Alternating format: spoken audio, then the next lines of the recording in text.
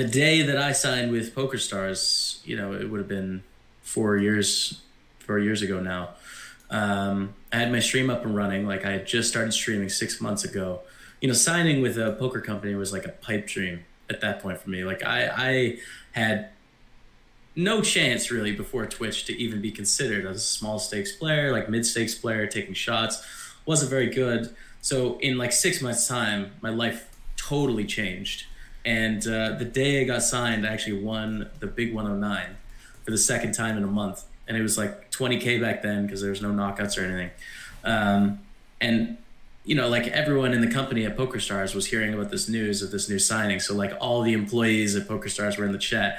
It was just like an amazing intro, and you couldn't have written a better story as to how I got started with that. So that I think was the craziest day of my like my my poker life. I started playing when I was 18, um, and I kind of realized I wanted to be a professional golfer as as a young person. So I was do, spending all my time on that, and then when I turned 18. Uh, I sort of realized I wasn't going to be Tiger Woods, which was soul crushing. Um, so partied a lot after high school, was hanging out, and then I found this poker thing, and I started playing a little bit. Actually, my brother Matt and I used to compete with play chips on Zynga Poker to see who would have more play chips on the app, you know, because all your Facebook friends are on there. So that competition spurred me to like get better, look into real money sites, and uh, and then it kind of just kicked off from there. Um, I ended up getting fifth place in a three dollar rebuy on PokerStars, which used to be huge back in the day, for twenty seven hundred, and you know, my 18 year old brain was like, yep, okay, I'm a poker pro now.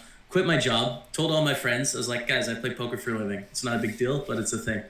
And uh, just, just so, so cocky and arrogant and like had no idea what I was doing. Um, and yeah, that was, that was my launch into poker when I was 18. I ran that down over the next few months, living at home to about $20 and about 30 bucks in my bank account.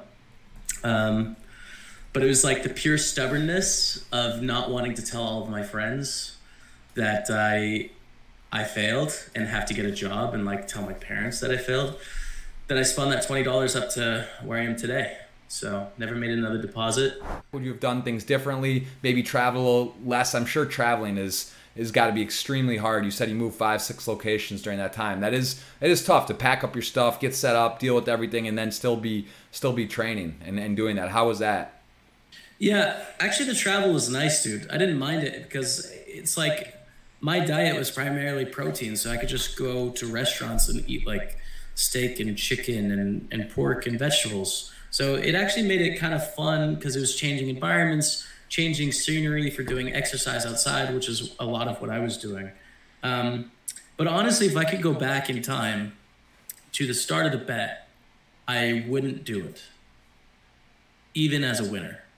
I wouldn't do it. Wow. Okay. Um, it was it was too intense, you know, and I've I've felt the effects of of how much of a toll that took like on me physically and mentally. Yeah. Uh, s- still, you know, still deal with it. It it was just such a sustained period of really intense cutting, um, to where the seventy five k doesn't make enough of a difference. And of course, like professionally, we suffered in terms of you know you can't stream very well or very consistently when you have done three and a half hours of walking and you have 600 calories in you. You know it's just like you can't you can't do very well. So of course both of us took hits in terms of our professional pursuits in poker to get it done. So um but like the physical and the emotional toll is very high. Like i wouldn't recommend anyone go through that much of a crash diet or the crash bulk. Uh, it's just not it's not worth it. It's a it's a huge toll. I do think it's the most impressive thing that I've been able to do, and I'm proud of it. But I've also learned that I've learned how intense it is on your body. Like how how did you feel about Matt kind of coming up and and wanting to do what you were doing? Matt's story is amazing. Like you should really get him on the pod, and I know you will soon, because it it's been a crazy journey for him and in a very condensed time period. Uh, so he actually started out as an assistant for me. He needed a job, and I was like, well, I just started this Twitch thing. and I'm like waking up at eight and going to bed at ten, and I'm not leaving my desk. Like, can you help me? Um, he's like, yeah, cool. So he just started helping me with like general assistance stuff. Uh, we moved to Calgary, and he started streaming a little bit on the side, like doing doing little bits of streams, playing a little bit of poker in his off time. And then one day in Calgary, he just told me like, all right, I'm done. I'm gonna stream. And I was like, Matt, first of all, could you give me like a week notice? Second of all, I respect it. Like, good luck, man. Um, no, I, I think like taking risks in life, and I'm biased because mine worked out. Although I took a golf risk and it didn't work out. Um, I think taking risks for young people like Matt, if you're passionate about something, is just always the right move, uh, as opposed to having regrets later in life of not giving it a shot.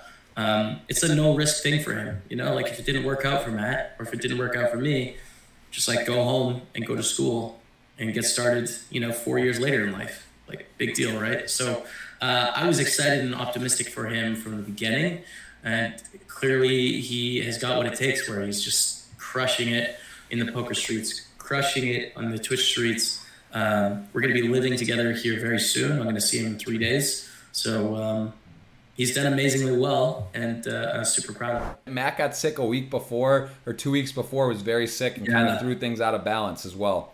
That was crazy. People don't know that story. So Matt is like definitely allergic to nuts. Um, like we'll go into a huge reaction. So he had a smoothie that he'd been having his whole time in Malta uh, but they accidentally put peanut butter in it. So he took a sip. Within like three minutes, he talked to my brother. He's like, I think I'm having an allergic reaction. Um, so they hop in a taxi. They go to the hospital in Malta. And Rebecca and I were living in a flat like five minutes away at this point because there's a lot of us in, in Malta. So we catch a taxi. And when I get there, he looks like a lobster. He's all puffy. He is red from his forehead down to his toes like just bright red, you know. Uh, thankfully, his airway didn't close up, but he has a full out reaction. And I recently just had a reaction, so I sort of have some empathy as to how scary of an experience that is. Like, you can't control it, it happens to you, and you're just hoping that your airway doesn't close up and you don't die, right? Like, that's terrifying. And the fear that comes from eating food after that is very strong. Um, you know, it's just like every time you eat, you have anxiety about, am I having a rea- reaction? Do I feel okay? Is this normal? So Matt was actually about three pounds. No, he was actually two pounds away from what our, our weigh in was, like two weeks from the actual weigh in. You know, and, and so essentially, like, he was at a point where he almost regressed for a little bit in the last two weeks, and I had to go extra hard. Like I was eating about 700 calories a day, but it was just incredibly stressful. Like the worst possible thing that could have happened at that point, two weeks out, is him having this, you know, life or death situation that creates an intense fear of of food. You know, um, so that was crazy, crazy, crazy that that happened. I mean, it's been a crazy journey for them. My my parents, they're both retired now, but my dad is a musician. He was a prof at uh, Lethbridge University. And then my mom was a music teacher in high school, like band and choir and stuff. So, uh, you know, both being teachers, I don't think this was their first thought when raising us that this is what we were going to do. Um, but they're very supportive now, very happy for us. Like they're they're always watching our streams. My mom is always up to date on, on social media. Like she's letting me know what's happening in the poker world when we talk on the phone, you know? Um, so when we got started, I mean, my parents were like, "What are you doing?" You know, like obviously, I'm living in my parents' house and I'm quitting my job and living in my parents' house with like fifteen hundred dollars to my name. Of course, they should be like that. Like, what? What is your plan? Um, what have we done? Right? But I think over time, as results started to pile in and I showcased that I could support myself through playing poker, they became a bit more supportive. Um, and then like mainstream recognition in the poker world, like getting signed and stuff. You know, that's that's a big deal to like normal people when they see that. They're just like, oh, okay, so it's legit then. Um, so it's kind of a slow shift over time to them be, being a lot more accepting, and now they're uh, some of our biggest fans. I think Matt, Matt and mine. So um, that's a really good feeling. But parents are risk averse and results oriented, which I'm sure you know, Jeff. Right? Like they they want to see the results before they can get on board and they don't want their offspring to take any risks because the the fear of them getting hurt is too much. You know, they Yeah. want them to take the the, the well worn path, right?